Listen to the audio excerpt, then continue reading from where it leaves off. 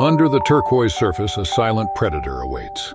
With senses exceeding human comprehension and a body honed for the kill, sharks rule the ocean depths. Millions of years of evolution have shaped them into perfect hunting machines.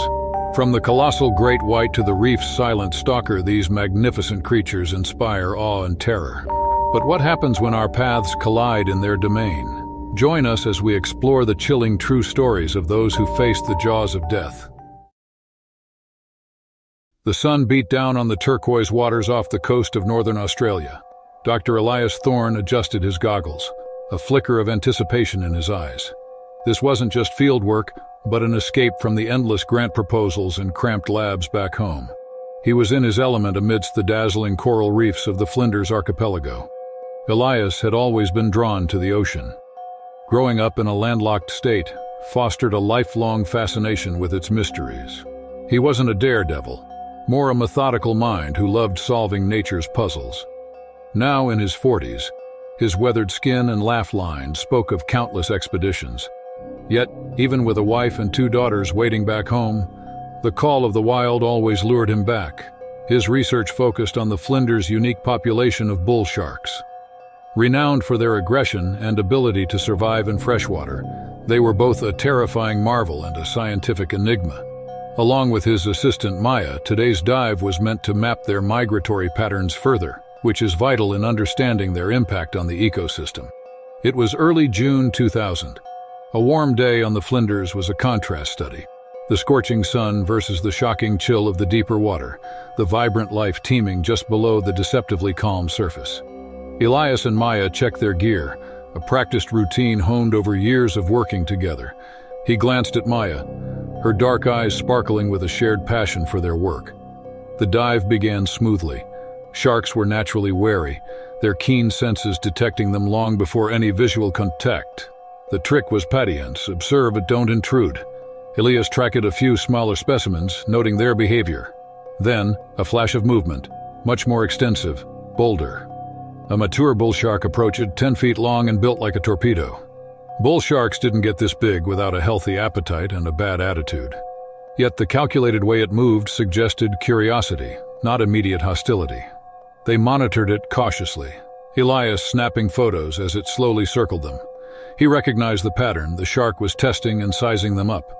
This was its territory, and these strange, bubble-blowing creatures were potential rivals. He felt excitement. This was the kind of encounter he lived for, he signaled to Maya that it was time to ascend. The ascent was slow, a safety precaution ingrained in Elias. That's when it hit. A surge of adrenaline masked the initial wave of pain. The bull shark struck from below, the force of the impact knocking the regulator from his mouth. Water rushed in, panic threatening to drown him. He thrashed, instinctively kicking at the massive shape now tearing at his leg. Maya screamed through her regulator, bubbles swirling in agitation around them. Elias wasn't a fighter by nature, but survival sometimes demanded brutality. He clawed at the shark's eyes, gouging for any purchase. Its rough hide scraped his bare hands bloody.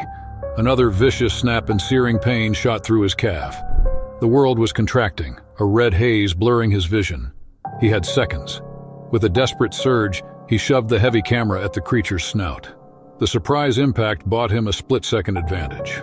Elias grabbed Maya's tank, propelling them upwards. The pain throbbed in waves, nausea swirling in his gut.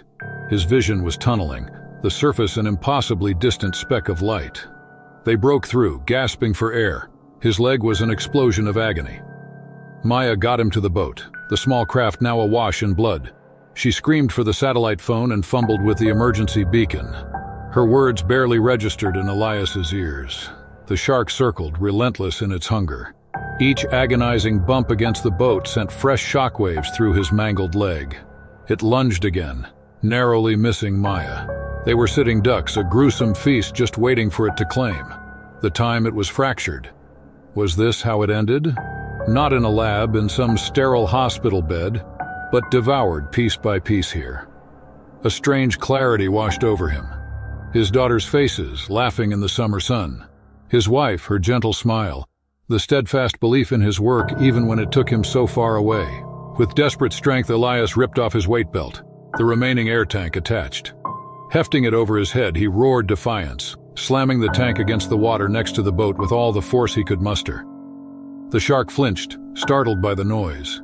He did it again and again. The tank pounded the water, creating a confusing cacophony.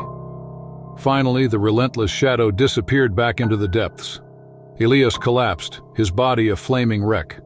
Maya's voice was distant, muffled. She was securing a makeshift tourniquet, the radio crackling with the crackly voice of the Coast Guard. Help was on the way, but he knew it might be hours. The water was chilling, and with his blood loss, hypothermia was a real threat. The sun began its descent to final indignity. Was this it? Survival was never about winning. It was about enduring. He looked up at Maya, her eyes brimming with determination. They'd make it. They had to. Night settled and still, they clung to life. Floating in and out of consciousness, Elias heard the chopper before he saw it. Rescue, a chance. But his ordeal had only just begun. The hospital was a blur of lights and needles. He underwent emergency surgery, hovering for days on the knife's edge between life and permanent disability. The shark took more than his leg. It took his certainty. The ocean, once his playground, now loomed as a vast, unpredictable threat. Yet the human spirit is stubborn. Through grueling rehabilitation, Elias relearned how to walk and navigate his life with this brutal new reality. Support from his family, from Maya, and a surprising outpouring of concern from the scientific community became his lifeline. He never returned to fieldwork. Instead, he found new ways to contribute. His research focused more intently on shark conservation, driven by a chilling, hard-earned understanding. The Flinders Archipelago remained a bittersweet memory, a testament to the fragility of life and the enduring power of survival. The wind whipped through her hair, a salty sting on her face. Lyra James's lips stretched with a smile as she surveyed the endless blue horizon from the deck of her sailboat, the Sea Gypsy. This was her element, the wildness of the open ocean calling to something deep within her. At only 25, she had already logged more sea miles than most sailors twice her age. Unlike many born into a seafaring life, Lyra was an outsider. She grew up in the Hirt of landlocked Colorado, her only connection to the ocean through faded library books and grainy documentaries. Each page, each flickering image ignited her imagination. By 16, she worked odd jobs, saving every penny to buy a battered old sailboat on a nearby lake. Her parents watched, a mixture of pride and exasperation warring on their faces. She studied marine biology via long-distance courses, devoured navigation manuals, and took any crew position. Today's solo voyage was supposed to be simple. Navigate from the coast of South Africa towards the remote islands of the Tristan Archipelago. The notoriously rough waters here were infamous for shipwrecks, but Lyra saw them as the ultimate challenge the archipelago's rich marine biodiversity, including great white sharks, was a powerful draw for the fearless young woman. It wasn't just the thrill, it was the knowledge she craved to witness firsthand the creatures she'd only read about. It was late October 2002 as she traced her planned route on her chart. The skies were clear, but she knew how quickly things could shift, especially in these treacherous waters. She checked and rechecked her equipment and secured her supplies. This boat wasn't just her transport, it was her lifeline. She thought of her family back home, rolling their eyes in fond resignation at her latest adventure. She was used to their worry mixed with grudging admiration. Sending a quick satellite message to reassure them, she settled in for the night. Lyra wasn't reckless, but she wasn't driven by caution either. Growing up watching nature documentaries sparked her passion. Sharks fascinated her, not as monsters, but as apex predators playing a vital role in the ocean's delicate balance. She dreamed of encounters, of understanding them on their terms. The first days of the journey were exhilarating. Dolphins escorted her for a while, their playful leaps a good omen. She slept in short bursts, the rhythm of the waves lulling her into a trance-like focus. But she knew this was just the calm before the storm. The Tristan Archipelago wasn't some tourist destination. It was raw, untamed, and a stark reminder of nature's unpredictable power. And it was getting closer. The change came with brutal swiftness. One moment the sea was a heaving expanse, the next a churning, frothing nightmare. The wind roared, tearing at the sails. Lyra fought for control, but the sea gypsy was like a toy in the hands of an angry giant. Rain lashed down, visibility shrinking to mere feet. The storm wasn't just around her, it seemed to rise from the depths, and the ocean was a raging beast. A towering wave slammed into the boat, knocking Lyra off her feet. Scrambling back, she saw the mast snap like a twig. Despair washed over her. Without the sail, she was at the mercy of the current. She grabbed emergency supplies, stuffing them into a waterproof pack. Her heart pounded in her chest, a mix of fear and defiance. Then it happened. A colossal surge and the boat capsized. Lyra was plunged into the icy water. Instincts took over. She fought her way to the surface, coughing and gasping. Looking back, the wreckage of the sea gypsy was getting steadily smaller, leaving her frighteningly alone. She trod water, trying to get her bearings. Then, she saw a dark, triangular fin slicing through the turbulent water. Her blood ran cold. Not one shark, but several. Great whites circling like vultures around a dying animal. Panic threatened to drag her under. She knew screaming and thrashing about would only attract them. Forcing herself into a semblance of calm, she began to swim slowly towards a piece of debris a broken plank that floated a short distance away. The sharks closed in, their movements eerily graceful in the storm's chaos. Reaching the plank, she used it as a makeshift shield, keeping it between herself and the hungry predators. One shark bumped it experimentally. Her muscles screamed with the strain of holding her position. Time was both endless and fleeting. She wasn't going to die without a fight. A flare. It was in the emergency pack strapped to her waist. Fumbling with numb fingers, she launched the Fury Burst, illuminating the stormy ski for a few seconds. Perhaps someone would see it, but hope seemed a foolish luxury now. The sharks regrouped, their methodical circling tightening the noose. One surged forward, its massive jaws snapping at the plank. The force splintered the wood, sending Lyra tumbling back into the water. She kicked desperately, desperately attempting to escape those gleaming rows of teeth. Then a searing pain shot through her arm, a shark had clamped onto her. Terror was a blinding, primal force. Somehow, in the struggle, her hand found the flare gun. She shoved it into the shark's open maw and pulled the trigger. The flare ignited, the beast suffered excruciating pain and released her. In the fiery chaos, the other sharks retreated momentarily. Bleeding and in shock, Lyra scrambled onto another piece of floating wreckage. The morning was breaking and the storm was finally beginning to ease. Exhaustion threatened to take her, but she clung to consciousness with grim determination. Rescue might come, or it might not. But she wouldn't make it easier for the sharks by giving in. Hours passed. She saw things that weren't there. Her family, her room, a shark's open mouth. She could barely breathe. Was this it? Would she die here, forgotten by everyone? Then she saw it.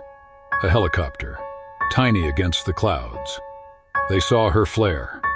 Hope burst inside her. She waved even though her voice was gone. The helicopter got closer. She wasn't dead. She was going to live. The ocean floor was an alien world bathed in perpetual twilight. For Jonah Thorne, it was a homecoming. He'd logged more hours underwater than most people spend on land. His company, Thorne Marine Solutions, specializes in the riskiest of deep-sea operations, salvage, recovery, and underwater construction. If it was difficult and dangerous, chances are he'd done it. Today's dive was different. This wasn't about a job. It was about discovery. He was off the coast of South Africa, exploring a recently mapped cave system in the remote Addo archipelago. Rumors whispered of lost pirate treasure hidden centuries ago, but the cave fascinated Jonah. This labyrinth of limestone tunnels was a marvel of geology, teeming with undiscovered life forms. It was early July, 2003.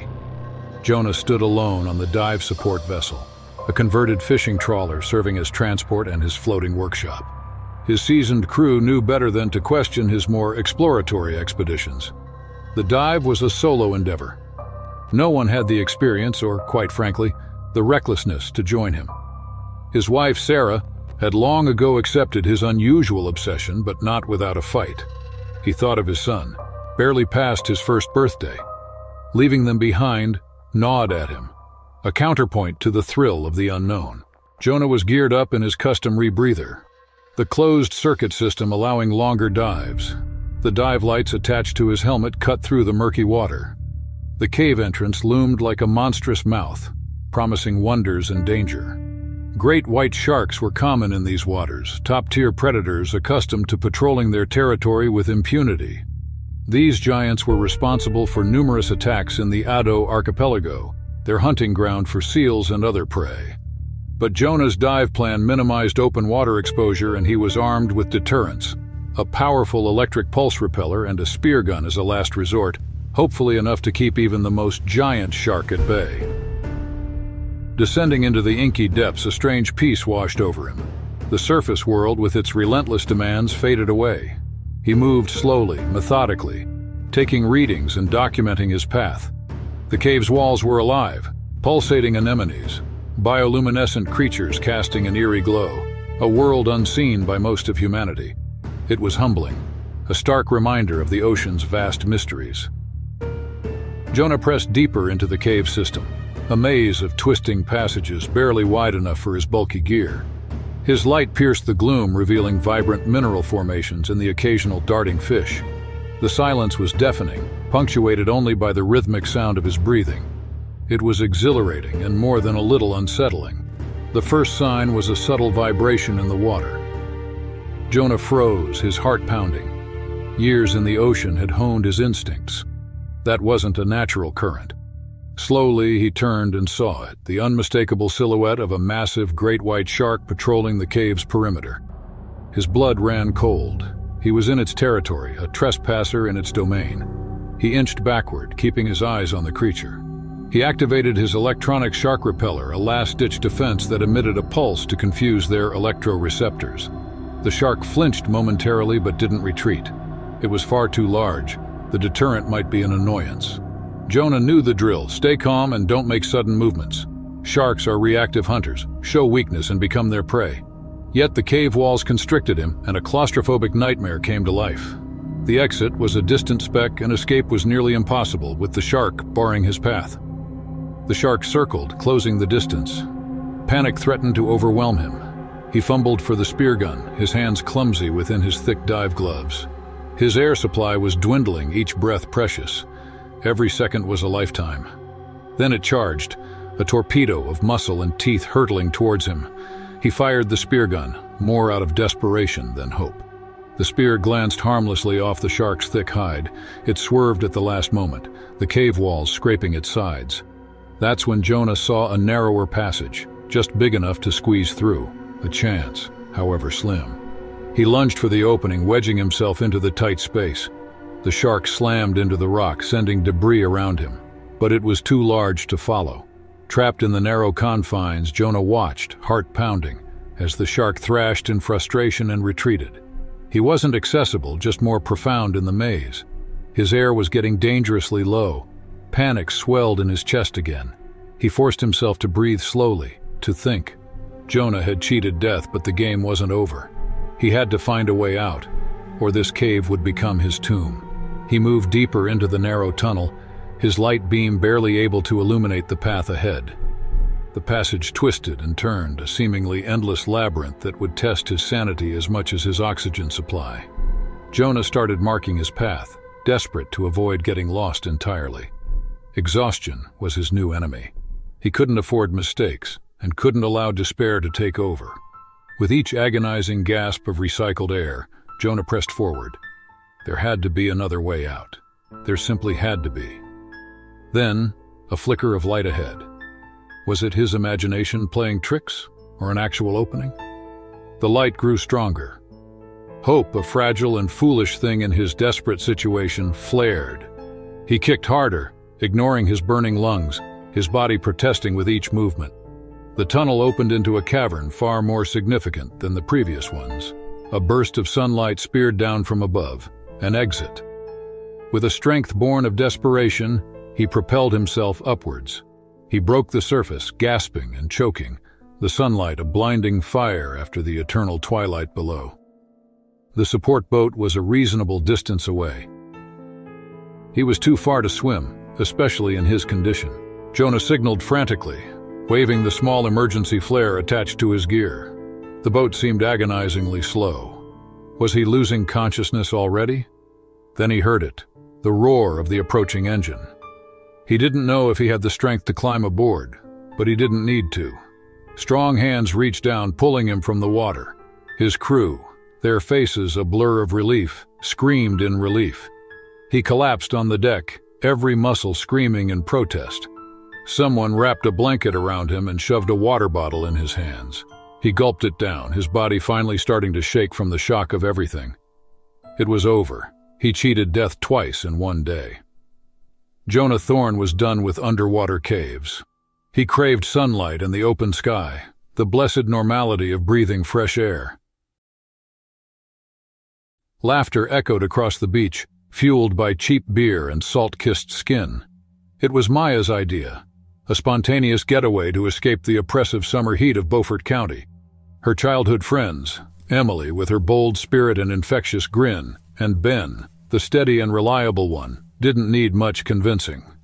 A weekend at a secluded coastline along the mesmerizing Morgan Islands off the coast of South Carolina seemed like the perfect antidote to their mundane city lives. It was the first Friday in August 1998, the fiery day finally giving way to a breezy evening. Their rented beach cottage was charmingly rustic, mere steps from the ocean. The day was spent the way all good beach days should be, sunbathing, half-hearted attempts at building sandcastles, and splashing in the surprisingly warm water. For Maya, it was bliss. A marketing executive by day, she rarely had uninterrupted time with her oldest friends, who knew her before her career ambitions and complicated relationships. Now, as darkness enveloped them, a bonfire crackled, casting their faces in a warm glow. After a dinner of grilled hot dogs and off-key sing-alongs, a sense of reckless abandon washed over them. The Ocean beckoned, a velvety expanse under a star-studded sky. Maya felt a prickle of unease. Shark attacks were rare along the South Carolina coast, but not unheard of. Bull sharks, in particular, were known to venture into shallower waters, especially at dusk and dawn. Yet the allure of the moonlight on the water was irresistible. Maya's life was full of calculated risks. This felt like a delicious slice of rebellion against her usual caution. They tossed their towels aside, their laughter echoing across the deserted beach. Emily, as usual, was the first in, the water closing over her head with a gleeful shout. Ben followed, his hesitant steps betraying his reluctance. Maya was last, a shiver of mingled fear and exhilaration tingling down her spine. The water was shockingly cool after the warmth of the bonfire, enveloping them in its inky depths. They trod water, their voices hushed, the vastness around them suddenly unnerving. Out here, they were vulnerable, out of their element. The first sensation was a jolt, an unseen force bumping against Maya's leg. She froze, her heart pounding. A fish, just a large fish. Wasn't it? Then, Emily shrieked, a piercing sound muffled by the water. Maya thrashed her head around just in time to see Emily dragged under, swallowed by the darkness. Maya couldn't move, couldn't process. Her mind fumbled for answers, a prank, a riptide, anything but the sinking realization that pulsed through her veins. A shark. It was a shark. Something brushed against her again. A powerful surge. Then an explosion of pain shot through her calf. Sharp teeth sank into her flesh. Instinct took over a primitive fight-or-flight response. Maya kicked unthinkingly, screaming even though she knew it would only attract it back. She broke free, adrenaline masking the searing pain. Ben was ahead of her, swimming for shore with desperate strokes. Maya matched Ben's frantic pace. The beach, their only hope, was an unbearable distance away. But the shark was faster, a relentless predator in its territory. It surfaced next to Ben. One gruesome strike and he was gone, a sickening plume of red blooming in the water. Maya was alone, the horror of it all finally sinking in. The beach was still so far and she was bleeding, leaving a trail the shark could effortlessly follow. Panic threatened to consume her. She couldn't fight it, not out here. But giving up meant certain death. Maya forced her limbs to move mechanically, fixing her eyes on the shore. She pictured the cottage, the warmth of the fire pit, and the remnants of their dinner scattered on the porch. Then a glimmer of hope. A wave crashed, and Maya saw a dark outcropping of rocks protruding from the water closer to shore. It was not safety, but perhaps a temporary refuge. She shifted course, summoning the last reserves of her strength to push ahead. Reaching the rocks, she scrambled onto their rough surface. Her wounded leg buckled, sending her crashing down. Maya looked back, her breath ragged. The shark circled, its movements agonizingly slow. She was out of reach for now, but it was only a matter of time. Waves crashed against the rocks, threatening to wash her back into its waiting jaws. A hysterical laugh bubbled from Maya's throat. She, a city girl, who analyzed market data for a living, was trapped here, crouching on a wet rock awaiting her demise. Tears mixed with the salty spray on her face. Then an image flashed in her mind. Her parents' worried faces, phone calls unanswered. Her last thought couldn't be of despair. She had to find a way out, had to survive, but how? The shark was getting impatient. It lunged at the base of the rocks, gnashing its teeth, sending a cascade of cold seawater over Maya. Terror gave way to a strange resolve. She wasn't going to be a passive victim. Her eyes scanned the surroundings, seeking anything she could utilize. Her shredded wetsuit offered no protection, and the flimsy material was like a cruel joke in this battle. Suddenly, she remembered the flare Ben packed in his waterproof bag. It was a long shot, but it was something. Scrambling back, her injured leg throbbing, she found the half-submerged backpack tossed aside by the turbulent water. Inside was the emergency kit, the flare her only chance for signaling. She fumbled with the package, her fingers clumsy with adrenaline and seawater-numbed cold. Each passing second felt like an hour, the shark's movements growing more frantic with hunger and frustration. The flare sparked, casting the surrounding water in an eerie crimson light. Maya waved it wildly, her shouts lost in the crashing waves and the roar of the wind. The shark honed in, likely more confused than deterred by the sudden brightness. Despair gnawed at her. Perhaps it was foolish hope after all. Then, in the distance, Maya saw lights. A boat, faint at first, then growing stronger, cutting a path across the inky water towards her. Was it a dream, a cruel trick of her desperate mind? The boat came closer, the thrum of its engine a lifeline against the despair. She waved the flare with renewed vigor. A spotlight pierced through the night, blinding her momentarily. Then voices called out through a loudspeaker. The Coast Guard was alerted by a late-night fisherman who'd glimpsed the faint light of her flare. Maya couldn't even muster a cry of relief, only a hollow laugh mixed with shuddering sobs. They pulled her onto the boat, her legs nearly useless beneath her. The paramedic patched up her wound, his actions feeling strangely distant as Maya stared numbly at the spot where Ben and Emily had disappeared. She survived, they didn't. The unfairness of it all would stay with her, a permanent scar matching the one on her leg. The ocean, once a place of wonder, now held only the echo of unseen predators and the ghosts of lost friends. Dr. Ethan Rhodes was a man obsessed.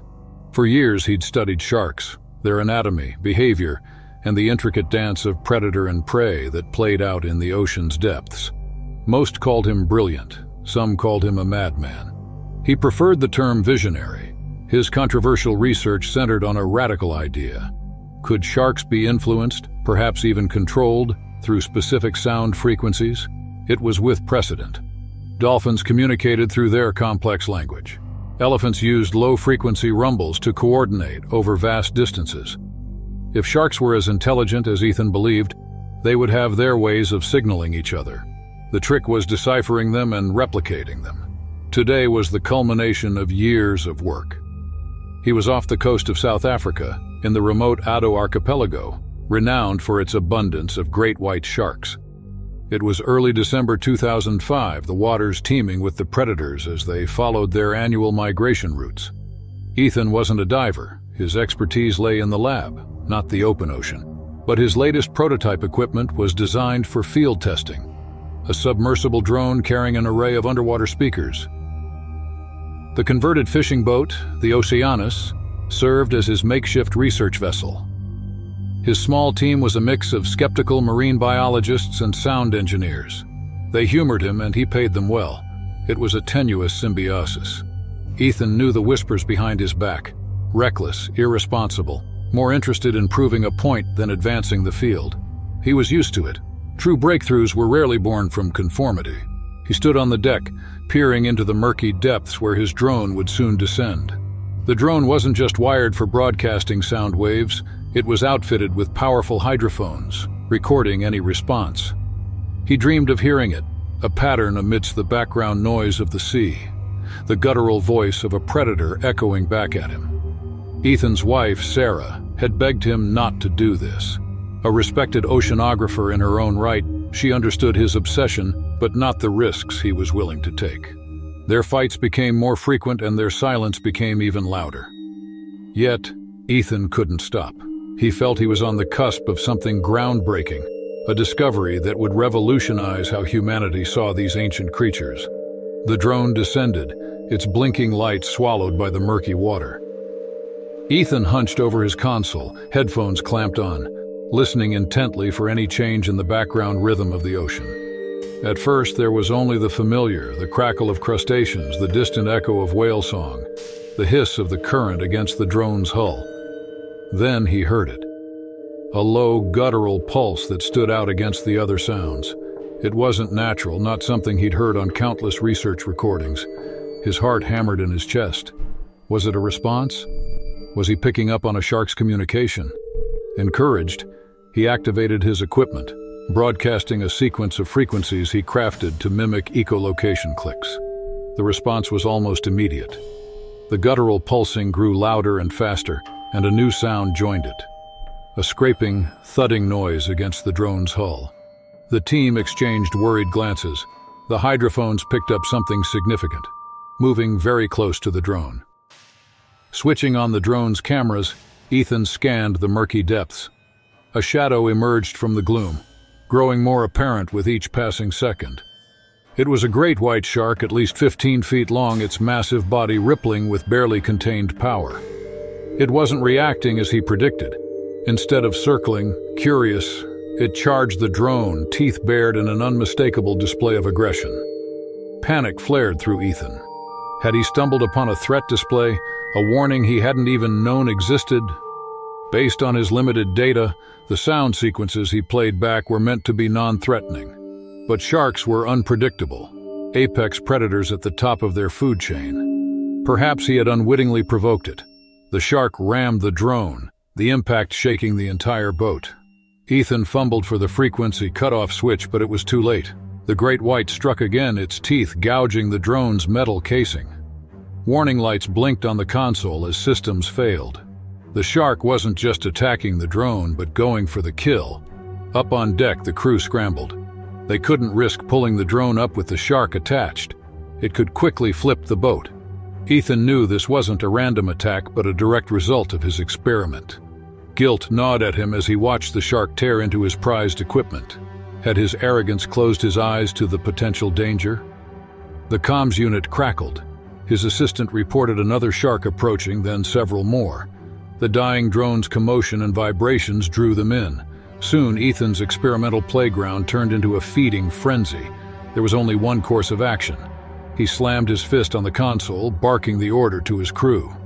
His voice was ragged with fear and frustration as he watched years of work vanish. With a jarring jolt, the cable was severed, sending the mangled drone spiraling into the darkening water. The sharks tensely fixated on their sinking prize and then their focus shifted. The boat became their new target, a tantalizing silhouette against the fading light. Ethan knew he wasn't safe. He turned the boat about and raced it back towards the shore. The sharks followed, their menacing silhouettes just below the surface. He wasn't just a researcher anymore, he was prey. At the harbor, an ashen-faced Ethan relayed the events to the skeptical Coast Guard. His story was met with an agonizingly familiar mix of concern and skepticism. He'd have to live with the questions and the accusations of irresponsibility. But that night, as Sarah held him while he shuddered from the residual terror. There was only one truth he couldn't ignore. He'd come far too close to proving his theory about communicating with sharks, and it almost cost him everything. The air crackled with excited chatter as the tour boat pulled away from the bustling dock. This was Sarah Evans's long overdue escape from the daily grind. A newly single mom struggling to balance a demanding tech job with raising her seven-year-old daughter, this Caribbean getaway to the San Cristobal Islands was meant to be a chance to breathe, to reconnect with the adventurous spirit she felt slipping away. Around her, a mix of tourists buzzed, a honeymoon couple holding hands, a family with boisterous kids, and a pair of retirees clutching guidebooks. It was July 3, 2009, the start of a holiday weekend. The boat skimmed through the turquoise waters, the lush green slopes of the main island giving way to smaller, uninhabited ones on the horizon. The captain announced their destination, Isla Sirena, a speck known for its pristine beaches and snorkeling. Sarah had done some research. The waters around the island teemed with colorful reefs, but there were also large populations of various shark species, from sleek reef sharks to imposing tiger sharks. The boat anchored offshore, ferrying passengers to the beach in smaller groups. Sarah felt the thrill of anticipation as they waded through the warm, shallow water. The others spread out, most eager to sunbathe or plunge masks first into the vibrant underwater world. But Sarah felt drawn to a lone stand of mangroves at the beach's edge. Suddenly, a hush fell over the gathered tourists. The captain shouted a warning, his voice edged with urgency. He pointed toward the horizon. At first, Sarah could see nothing. A tropical storm was moving in, frighteningly fast. Everyone scrambled back onto the boat, the initial excitement giving way to a nervous energy as the clouds rushed in. Waves crashed over the deck, soaking everyone to the bone. The captain wrestled with the controls, his face etched with concentration, but it was a losing battle. There was a flash of lightning and ear-splitting crack of thunder, and the engine died. Panic erupted. Sarah was thrown against the railing, pain exploding in her side. Through the blur of rain and salt water, she saw the boat split in half, the wreckage disappearing into the churning sea. People clung to debris, bobbing among the waves, swept further away with each passing second. Scrabbling, Sarah found a handhold just as the other half of the boat capsized. Then, a lucky break. With a surge, she was tossed onto solid ground, crashing onto the beach. Behind her, she heard cries of terror fade into the relentless howl of the wind. Coughing, her lungs burning, Sarah looked around. Two other figures lay sprawled on the sand, a middle-aged man with blood trickling from a head wound, and a teenage girl wringing the seawater from her long hair. Her initial relief was brutally short-lived. They were stranded, injured, and utterly vulnerable. Scanning the water, her heart sank. Dark fins cut through the waves, sharks drawn by the chaos of the wreck. They were circling, waiting. Survival instinct kicked in. With grunts of effort, they helped each other move, scrambling through the mangroves. Finally, they found a narrow opening, almost like a cave, hidden by dense foliage. It was dark and damp, but at least it was covered. They slumped down, exhaustion washing over them. The man, Thomas, tended to his head wound with a strip torn from his shirt. The girl, Anya, had only minor scrapes, but her eyes were wide with shock. Despite the throbbing pain in her ribs, Sarah was the leader by default. There was no time for self-pity. They inventoried their situation. A half-empty water bottle, a lighter, Thomas's pocket knife, and the tattered remnants of Anya's beach bag. No food, no actual first aid supplies. Outside, the storm raged on. They were trapped, not just on the island but in their shelter. Moving would attract the sharks' attention, despair threatened to overwhelm them. Sarah thought of Lily, her parents' worried faces, and all those they'd already lost. They had to survive. Hours passed. The storm finally abated, leaving a desolate landscape and a relentless sun beating down. Their throats burned with thirst, their injuries ached fiercely. They knew they couldn't stay here. The circling fins in the water served as a constant, deadly reminder. They had to find another way off the island, a chance to signal for help. Venturing deeper into the jungle proved daunting. Each rustle brought fear. Every shadow seemed to conceal a new threat. Yet the relentless drive for survival spurred them on. They discovered edible berries, carefully testing each before risking more than a taste. A trickle of water led them to a small, clear spring, where they refilled their meager bottle. They used leaves and sap to treat their wounds, a poor substitute for proper care but better than nothing. They scavenged debris washed ashore, building a crude raft that barely held together. Yet Every attempt to launch it beyond the reef was met with circling sharks, driving them back to the unforgiving island. While gathering driftwood, Thomas spotted a glint on the island's far side. Hope, a fragile and foolish thing in their desperate situation, flared. Their hopes seemed dashed when they found a smashed speedboat, its hull torn open. Then Sarah found it, a waterproof container wedged in a compartment. Inside were flares and a small battery-powered radio. Working furiously, they built a signal fire, the smoke a thin trail against the vast sky. With trembling hands, Thomas sent out an SOS repeatedly, their voices hoarse from thirst and fear. Then they waited. Then they saw it. A ship, distant but real. They lit the flares, waving them frantically as they screamed themselves raw. But finally, the boat changed course, heading towards them. When the rescue boat reached the beach, the survivors could barely stand. Weak, sunburned, and covered in ragged, salt-crusted clothes. Yet a surge of relief washed over them so powerfully they wept. They survived by luck and their desperate determination to cling to life. The island, once a prison, became a testament to their resilience.